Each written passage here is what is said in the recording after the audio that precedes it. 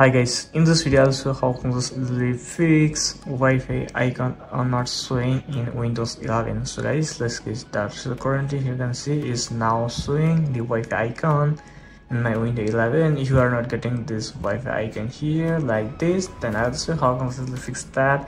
So you need to fix this issue. You need to simply just uh, go to the source bar. Now here you need to search for the view network connection. Then just go to the view network connection now here you need simply just tap on the Wi-Fi adapter then right click in it tap on disable.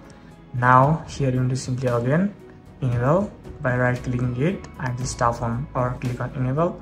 After that it will enable the Wi-Fi connection and it will show over here.